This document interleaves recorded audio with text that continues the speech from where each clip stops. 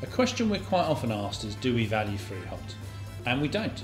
Uh, our expertise and specialism in valuing your dental practice, the value of the equipment, fixtures and fittings, and the goodwill.